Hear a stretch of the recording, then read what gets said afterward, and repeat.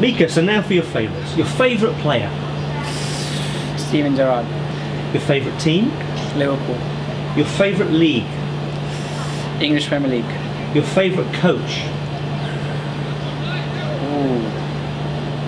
Mourinho, favourite colour, red. your favourite food, It's gotta be Thai food. your favourite film, Gladiator. and your favourite music. Ooh.